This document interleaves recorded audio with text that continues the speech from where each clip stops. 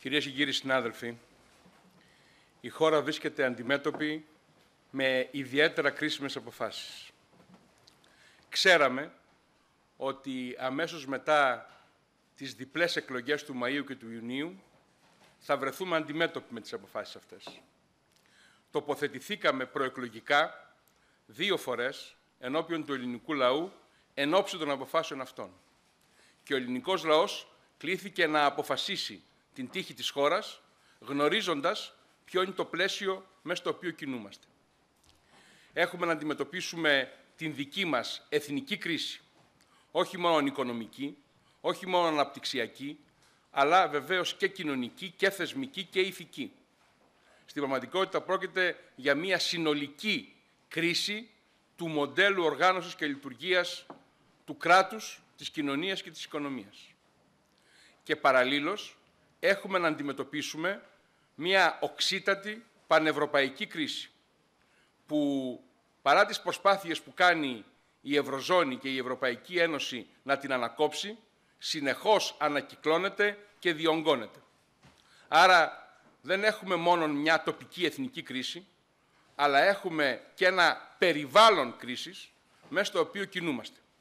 Είμαστε συνεπώς υποχρεωμένοι να κάνουμε πάρα πολύ δύσκολες σταθμίσεις για το ποιοι είναι οι κίνδυνοι και ποιες πρέπει να είναι οι σωστές επιλογές. Το ΠΑΣΟΚ δεν δέχεται υποδείξεις υπευθυνότητας από κανέναν. Έχουμε σηκώσει τα τελευταία τρία χρόνια ένα τεράστιο βάρος. Έχουμε αναλάβει ένα δυσανάλογα μεγάλο πολιτικό, εκλογικό και ηθικό κόστος. Ξέρουμε πάρα πολύ καλά τι σημαίνει να αγωνίζεσαι για να κρατήσεις τη χώρα μέσα στην Ευρωζώνη. Ξέρουμε τι σημαίνει να αγωνίζεσαι ώστε να καταβληθούν εγκαίρως οι δόσεις της Δανειακής Σύμβασης. Ξέρουμε πάρα πολύ καλά τι σημαίνει να έρχεσαι πρόσωπο με πρόσωπο με τους Ευρωπαίους και διεθνείς εταίρους της χώρας, διαπραγματευόμενος για την μοίρα του ελληνικού λαού και το μέλλον της ελληνικής οικονομίας και κοινωνίας. Δεν έχουμε ποτέ ενδώσει στην ευκολία της αντιμνημονιακής δημαγωγίας. Δεν περάσαμε στην πρόσφατη πολιτική μας διαδρομή καμία φάση δημαγωγίας και λαϊκισμού. Δεν υποσχεθήκαμε τίποτα που να μην είναι πράγματι εφικτό προεκλογικά. Διατυπώσαμε έναν προεκλογικό λόγο σταθμισμένο, προσεκτικό, βασισμένο στην αλήθεια. Δεν μιλήσαμε ούτε για εύκολες και γρήγορες λύσεις, ούτε για έτοιμο κατάλογο ισοδύναμων μέτρων, ούτε για επαναδιαπραγμάτευση χωρίς να σεβόμαστε το πλαίσιο της ίδιας της σύμβασης που προβλέπει την αναθεώρησή της.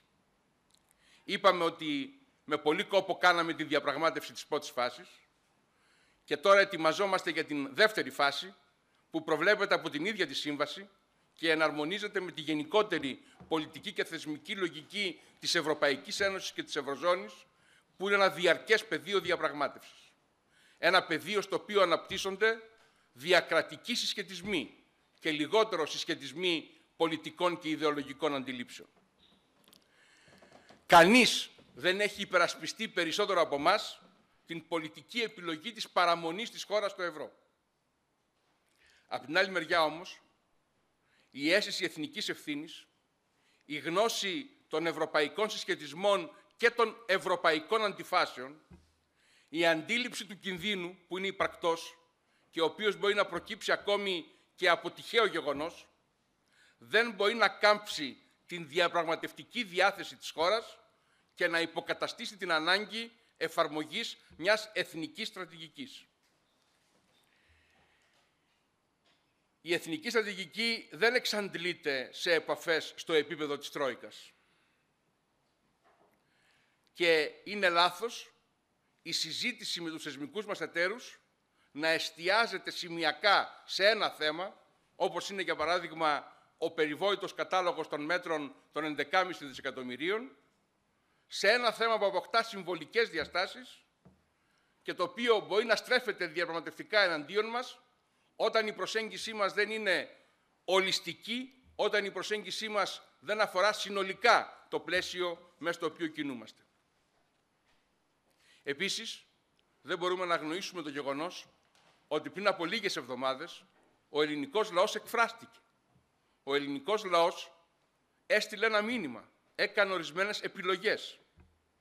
Ο ελληνικός λαός αποφάσισε την παραμονή της χώρας στο ευρώ, αποφάσισε να αποκρούσει οποιαδήποτε μονομερή και ανεύθυνη ενέργεια, απέρριψε δηλαδή όλες τις θεωρίες της καταγγελίας και της ακύρωσης του μνημονίου, ζήτησε όμως αναθεώρηση των δυσμενών όρων της Δανειακής Σύμβασης, προσαρμογή στα νέα μακροοικονομικά δεδομένα, καθώς η ύφεση για το 2012 θα είναι πολλές μονάδες πάνω από αυτή που είχαν προβλέψει οι θεσμικοί μας εταίροι, αποφάσισε πως δεν μπορούν να γίνουν αποδεκτές οριζόντιες περικοπές μισθών και συντάξεων που μειώνουν την ζήτηση και πλήττουν ιδίως χαμηλά και μεσαία εισοδήματα, απεφάσισε πως δεν μπορούν να γίνουν δεκτά μέτρα που τροφοδοτούν την ύφεση και αυτοακυρώνονται, γιατί τα μέτρα έχουν σημασία όταν συνδυάζονται με θετικούς ρυθμούς ανάπτυξης.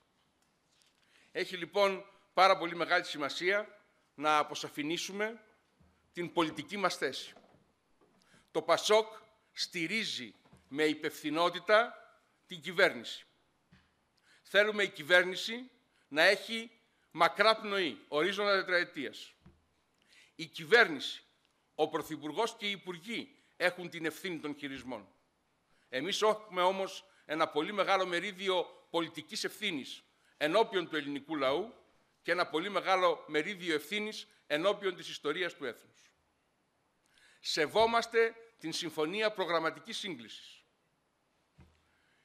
Η προγραμματική σύγκληση δεν διαμορφώθηκε μόνον ή κυρίως από εμάς. Ελήφθησαν πολύ σοβαρά υπόψη οι προεκλογικές δεσμεύσεις και των άλλων κυβερνητικών εταίρων, οι οποίοι είχαν διατυπώσει δεσμεύσεις με πολύ μεγαλύτερη άνεση από ότι εμείς που ήμασταν ιδιαίτερα υπεύθυνοι και προσεκτικοί στο όνομα της αλήθειας. Επιμένουμε στην ανάγκη να υπάρχει ένα ενιαίο εσωτερικό μέτωπο. Δεν μπορεί δηλαδή να επικαλούμαστε επαφές με την Τρόικα για να υποχωρήσουμε πριν διαπραγματευτούμε στο κατάλληλο πολιτικό και θεσμικό επίπεδο. Αυτό έχει ιδιαίτερη σημασία εν ώψη και της εμπειρίας που έχουμε ζήσει. Γιατί συζήτηση για αλλαγή των μακροοικονομικών δεδομένων, για ύφεση μεγαλύτερη της προβλεφτής σας, κάναμε και πριν από ένα χρόνο, στα τέλη Αυγούστου του 2011 με την Τρόικα.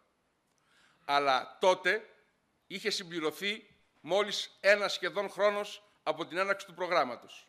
Τότε δεν είχε ξεκινήσει η μεγάλη αναδιάρθρωση του δημοσίου χρέους και η δραστική μείωσή του.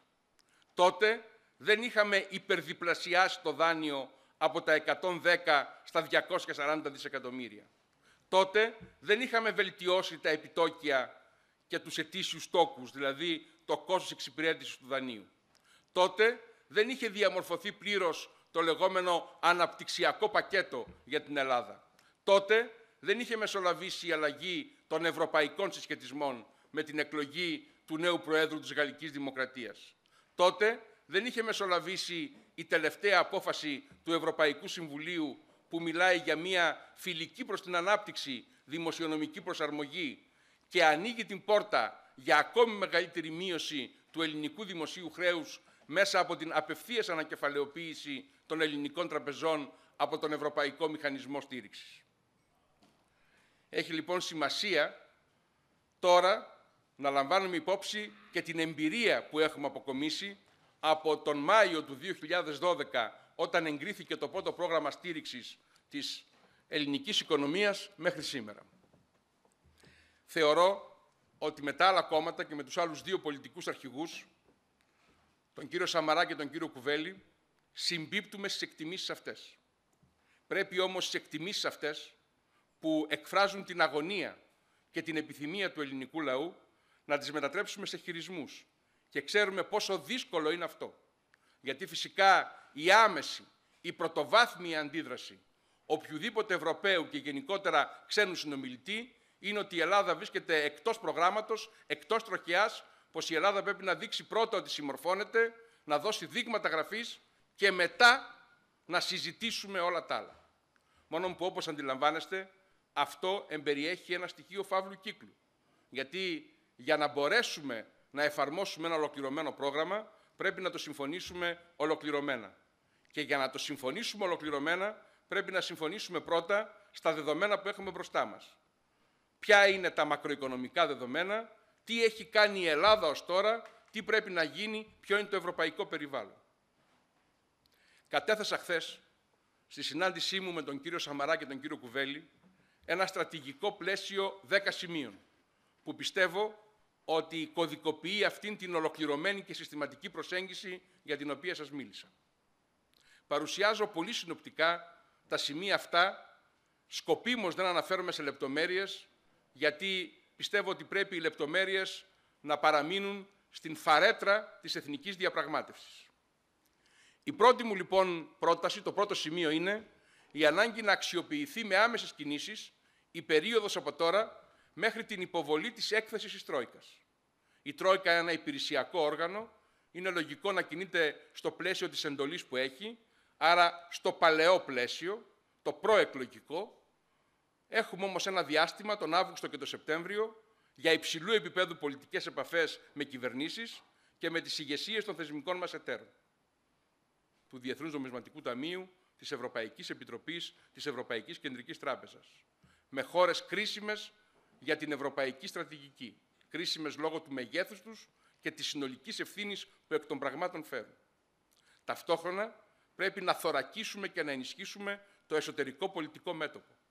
Πρέπει να ενημερώσουμε και να συστρατεύσουμε τους κοινωνικούς εταίρους. Να ενεργοποιήσουμε την Εθνική Ομάδα Διαπραγμάτευσης, που όπως είπαμε θα ονομάζεται Εθνική Ομάδα Οικονομικού Στρατηγικού Σχεδιασμού. Πρέπει να καλέσουμε την αντιπολίτευση να αναλάβει το μερίδιο της δικής της εθνικής ευθύνης. Και βεβαίως πρέπει να τεκμηριώσουμε το τι έκανε η χώρα από το 2010 έως σήμερα.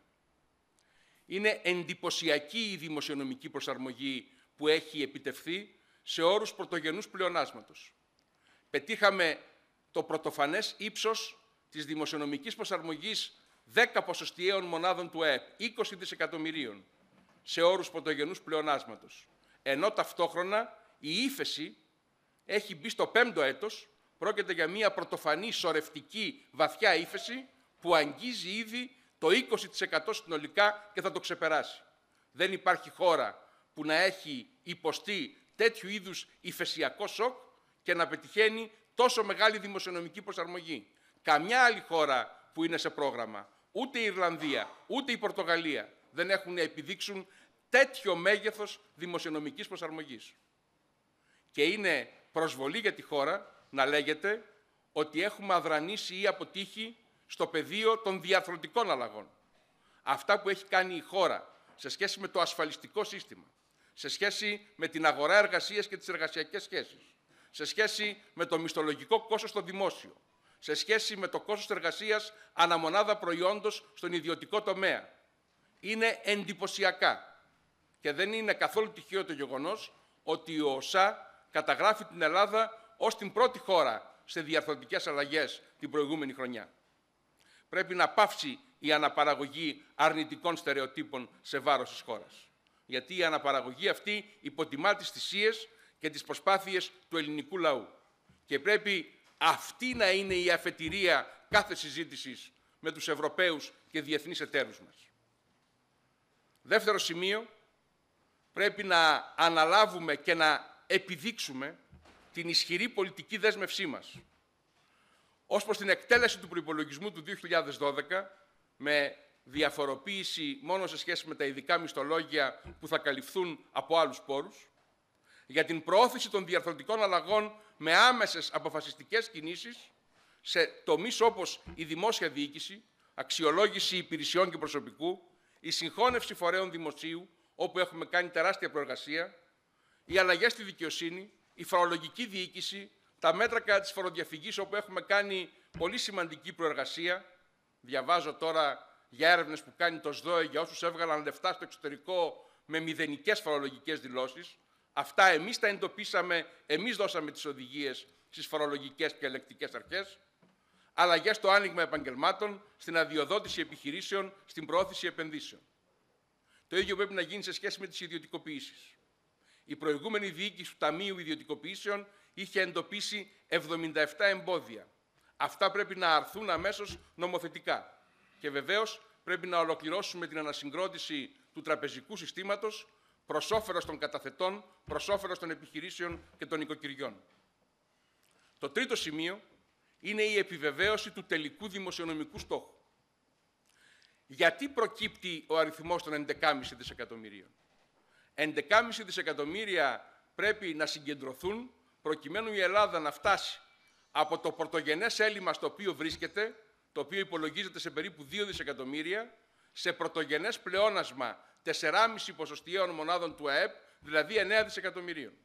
Αυτά είναι τα 2 συν 9, 11, 11,5 δισεκατομμύρια. Αυτός ο στόχος όμως έχει νόημα μακροοικονομικά, το είπα και χθες, μόνον αν συνδυάζεται με δύο άλλες παραμέτρους. Η πρώτη παράμετρος είναι θετική ρυθμή ανάπτυξης, σταθερά κάθε χρόνο τουλάχιστον 2,6%. Έτσι λέει το μακροοικονομικό μοντέλο μέσα στο οποίο δουλεύουμε με τους εταίρους μας.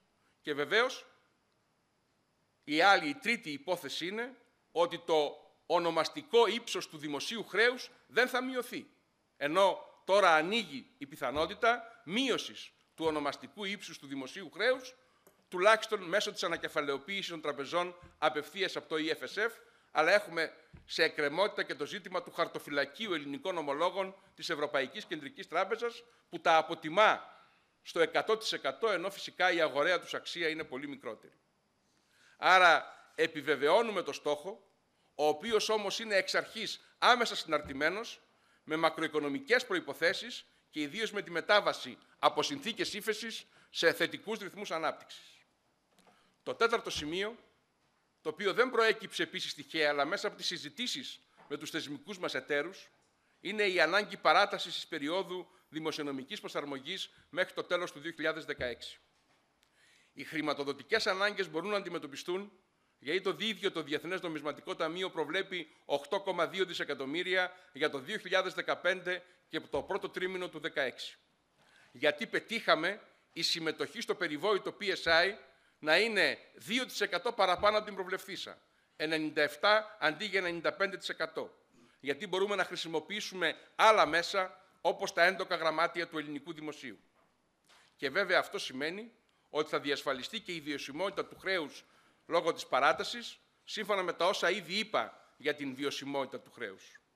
Σας θυμίζω ότι ήδη από το Ευρωπαϊκό Συμβούλιο της 21ης Ιουλίου του 2011, και αυτό επιβεβαιώθηκε έκτοτε σε όλα τα Eurogroup και σε όλα τα Ευρωπαϊκά Συμβούλια, υπάρχει δέσμευση των εταίρων μας για στήριξη των χωρών που έχουν ενταχθεί σε πρόγραμμα, άρα και της Ελλάδος, έως την επάνωδό τους στις αγορές. Όχι έως το τέλος του προγράμματος, αλλά έως την επάνωδο στις αγορές.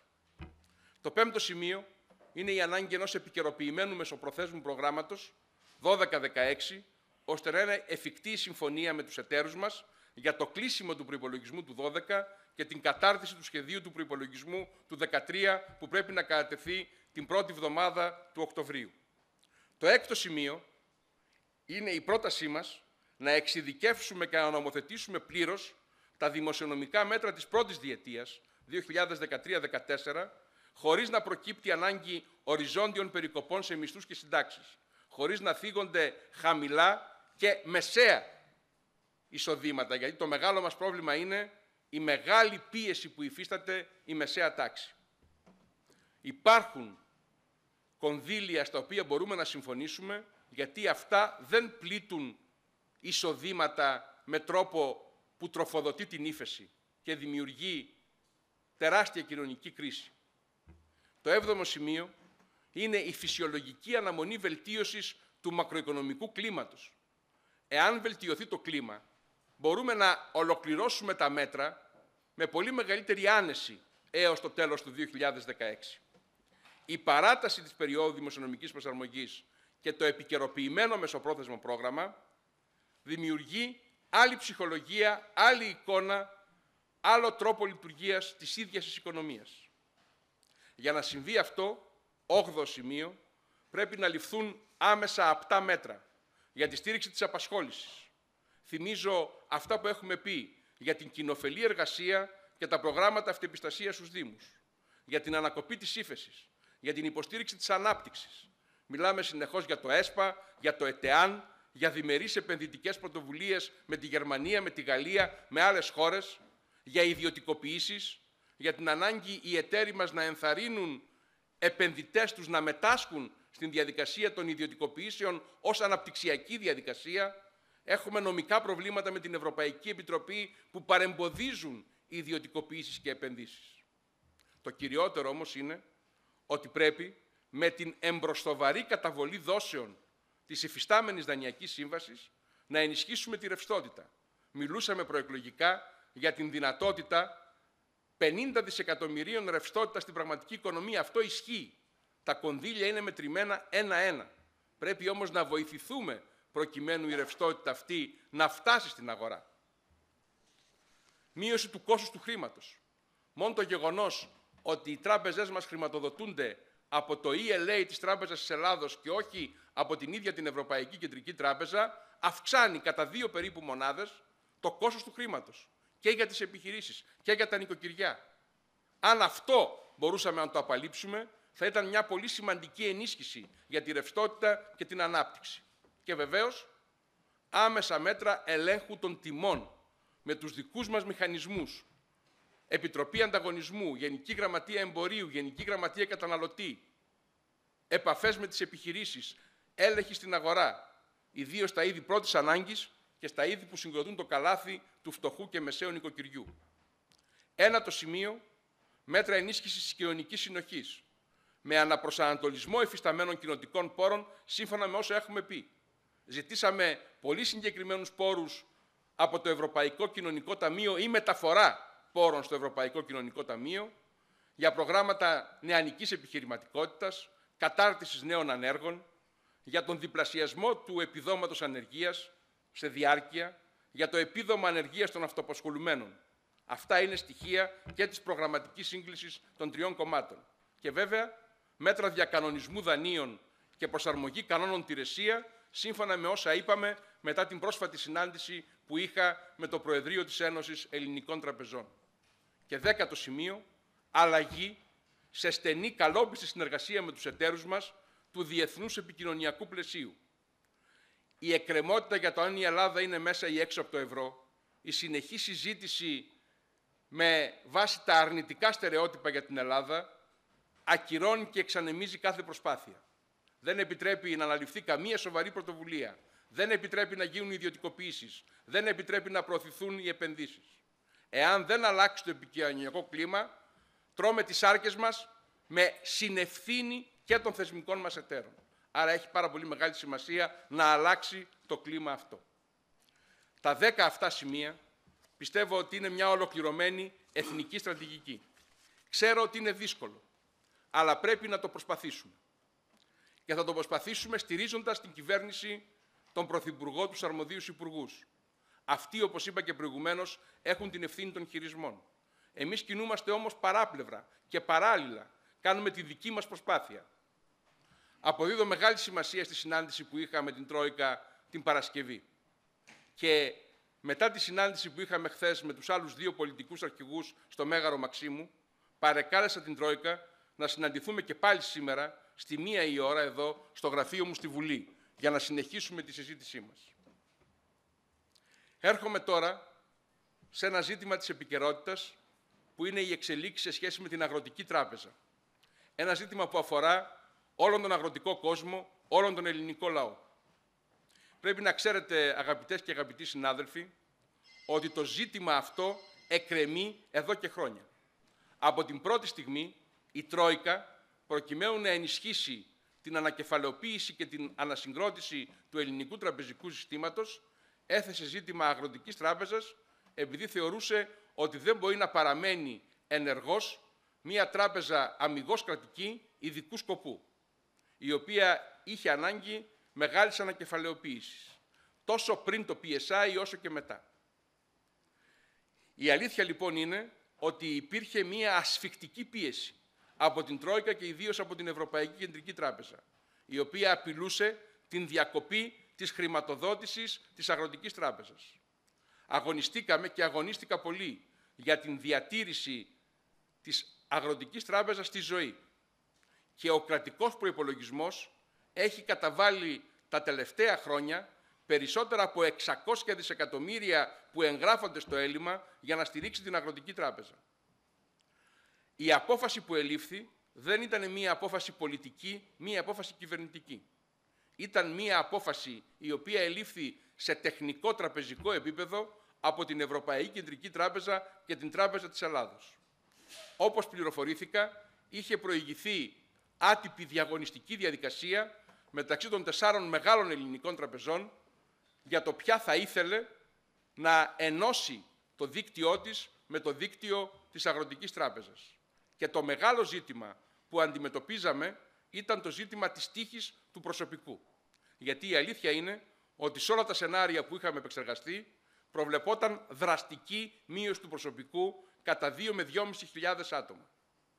Η προτίμησή μας, και αυτό περιλαμβανόταν σε επιστολή που είχε στείλει ο κύριος Αχινίδης όταν με διαδέχτηκε στο Υπουργείο Οικονομικών, ήταν να διαχωριστεί η κακή αγροτική από την καλή και η καλή να παραμείνει αυτόνομη. Αλλά και αυτό προέβλεπε μείωση του προσωπικού.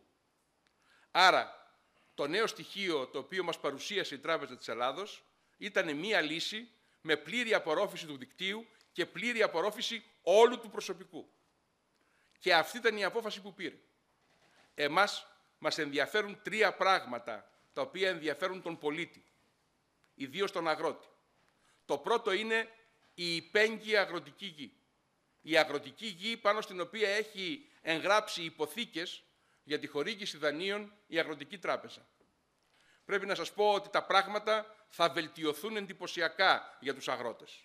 Γιατί η Αγροτική Τράπεζα διέθετε ένα νομοθετικό προνόμιο ατελούς, δηλαδή χωρίς κόστος, εγγραφής υποθήκης, η οποία ήταν δυσανάλογα μεγάλη σε σχέση με τα δάνεια που χορηγούσε. Τώρα αυτό θα καταργηθεί νομοθετικά, θα αρθούν πάρα πολλές αδικαιολόγητες υποθήκες και θα ισχύει για τις εμπράγματες ασφάλειες ό,τι ισχύει γενικά στο τραπεζικό σύστημα.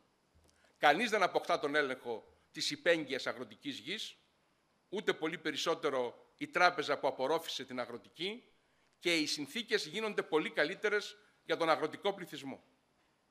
Το δεύτερο μεγάλο θέμα είναι οι θυγατρικές επιχειρήσεις της Αγροτικής Τράπεζας ή επιχειρήσεις που λόγω υψηλής δανειοδότησης από την Αγροτική Τράπεζα την ανάγκασαν να μετατραπεί από πιστωτής σε μέτοχός τους. Είναι οι περιπτώσεις της βιομηχανίας ζάχαρης, της Δοδόνης, αλλά και οι περιπτώσεις της ΕΚΑΠ, ακόμη και οι περιπτώσεις βιομηχανιών όπως το Αγνό στην περιοχή της Σαλονίκης.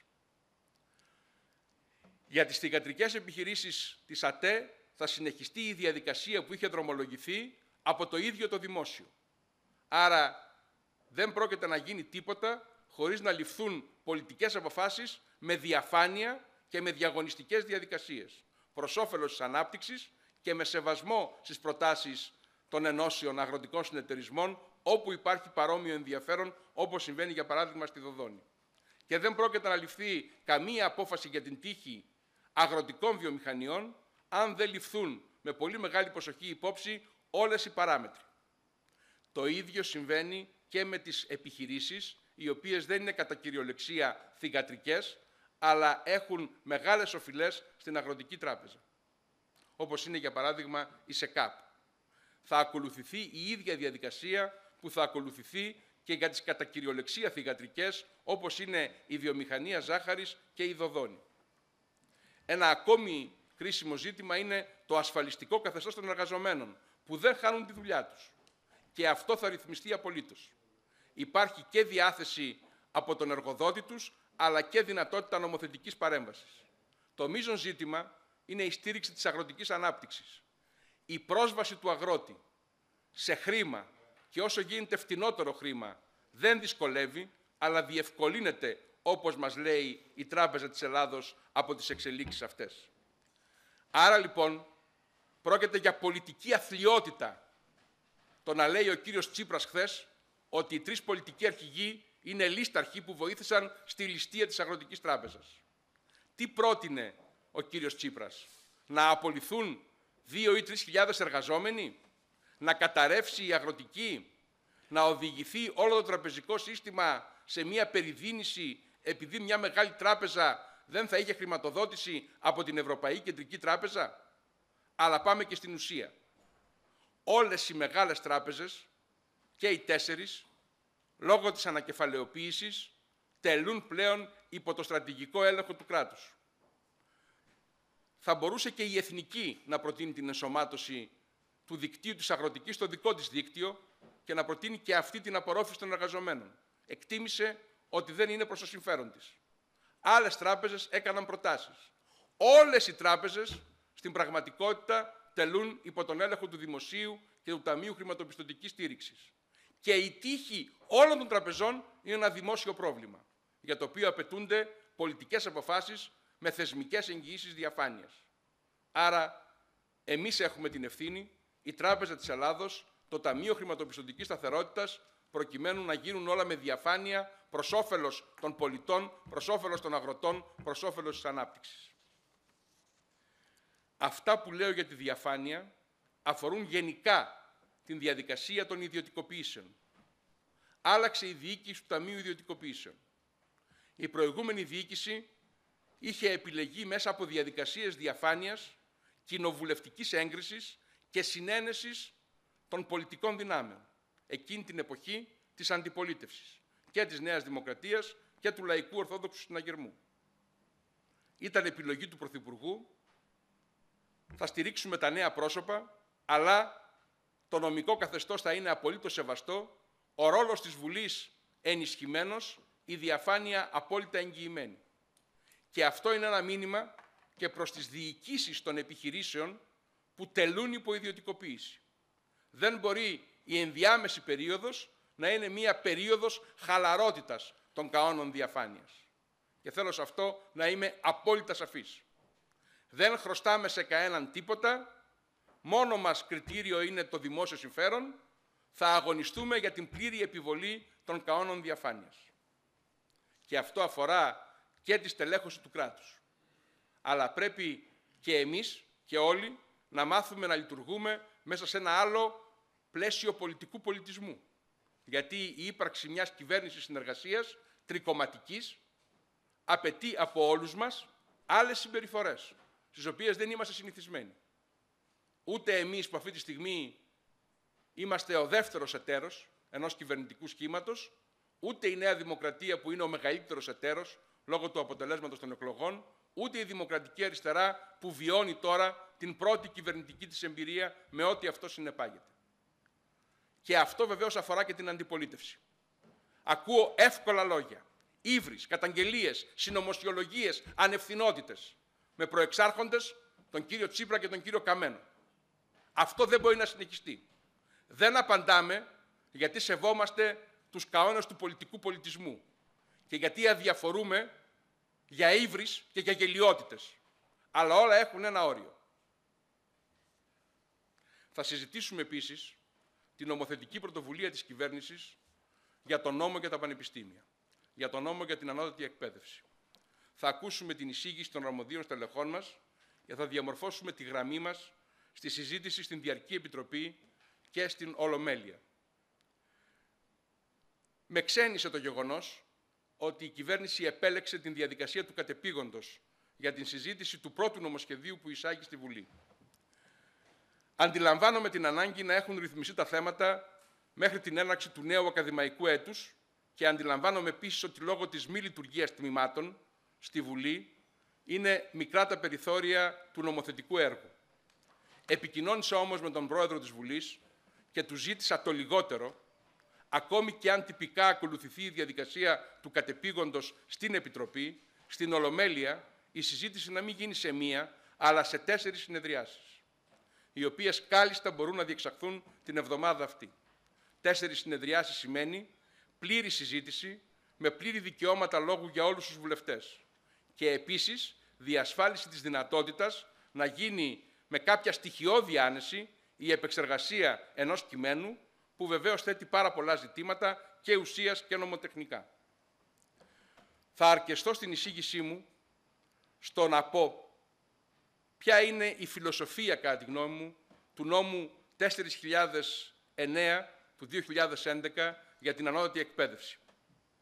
Ο νόμος αυτός είναι πράγματι μια σημαντική θεσμική κατάκτηση που στοχεύει στην αναβάθμιση των ελληνικών τριτοβάθμιων ιδρυμάτων.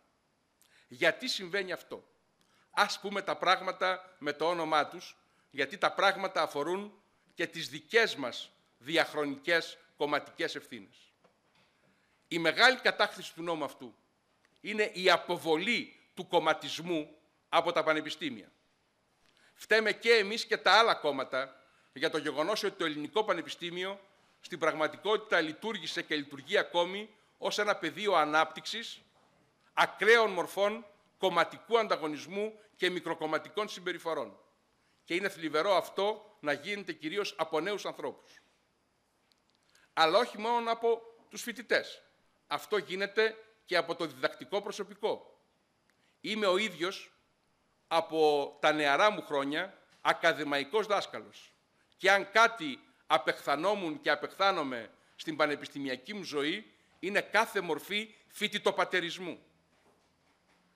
Άρα λοιπόν ο νόμος αυτός πράγματι ακυρώνει τον κομματισμό, τον φοιτητοπατερισμό και τη συναλλαγή. Επιβάλλει την νομιμότητα μέσα στα πανεπιστήμια και το αίσθημα ασφάλειας με τον ριζικό επανακαθορισμό της έννοιας του πανεπιστημιακού ασύλου. Επιβάλλει τη διαρκή αξιολόγηση, την ενίσχυση της αριστείας, θεσμούς κοινωνικού ελέγχου και λογοδοσίας, προβλέπει την καλύτερη οργάνωση των μεταπτυχιακών σπουδών, την αναγκαία πολιτυπία, ίσως όχι σε επαρκή βαθμό, αλλά πάντως σε ένα κάποιο βαθμό, και βεβαίως την άμυλα. Η φιλοσοφία του νόμου, αυτή που είναι το μεγάλο εξυγχρονιστικό διάβημα, ούτε θίγεται, ούτε πρόκειται να θυγεί. Υπάρχει το ερώτημα γιατί δεν εφαρμόστηκε ο νόμος. Άρα πρέπει να δούμε σε ποιον είχε ανατεθεί η ευθύνη εφαρμογής.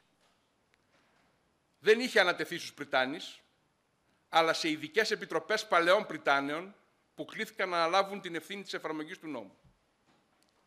Πρέπει λοιπόν να δούμε, τώρα που αντιμετωπίζουμε παράλληλα το μεγάλο πρόβλημα της διαπραγμάτευσης για την Δανειακή Σύμβαση που κύρωσε η Βουλή των Ελλήνων με συντριπτική πλειοψηφία η οποία ξεπερνά τα δύο τρίτα,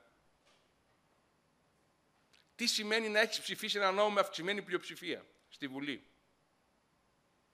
Ελπίζω να μην κατηγορηθούμε για ύβρι προς τη δημοκρατία επειδή ζητούμε να συζητήσουμε ξανά για τους δυσμενείς όρους της Δανειακής Σύμβασης που έχει κυρώσει με συντριπτική πλειοψηφία η Βουλή των Ελλήνων. Γιατί υπάρχει μια ανοιχτή διαπραγμάτευση και γιατί η παρούσα Βουλή διατηρεί το δικαίωμά της να νομοθετεί και δεν έχει ευνουχιστεί ως προς το δικαίωμά της αυτό από καμία προηγούμενη Βουλή. Αυτό συμβαίνει μόνο με το Σύνταγμα της χώρας, με πολύ συγκεκριμένες προϋποθέσεις και διαδικασίες. Άρα πρέπει να δούμε με πολύ μεγάλη προσοχή το νόημα της αυξημένης πλειοψηφίας στην ψήφιση του νόμου 4.009 του 2011. Τι σήμαινε η θετική ψήφος της Νέας Δημοκρατίας, τι σήμαινε η αρνητική ψήφος της Δημάρ, τι σημαίνει η συζήτηση με τους άλλους κυβερνητικούς εταίρους στην παρούσα φάση, πώς δίνουμε την εικόνα της συνοχής της κυβέρνησης, πώς εμείς θα είμαστε συνεπείς όταν κατηγορούμεθα από κάποιους κύκλους τώρα επειδή λέμε να διεκδικήσουμε παράταση της δημοσιονομικής προσαρμογής ότι δήθεν κάμπτεται το ενδιαφέρον μας για την παραμονή της χώρας στο ευρώ και με την ίδια ευκολία είχαμε κατηγορηθεί στο παρελθόν επειδή πήραμε δύσκολα και σκληρά μέτρα. Θέλω να τα παραλληλήσουμε όλα αυτά στη σκέψη μας, γιατί δεν είναι η μοίρα του Πασόκ να είναι καθυλωμένο σε μία αντίφαση που βιώνει το ίδιο επειδή η κοινωνία μας χρεώνει μια ιστορική ευθύνη.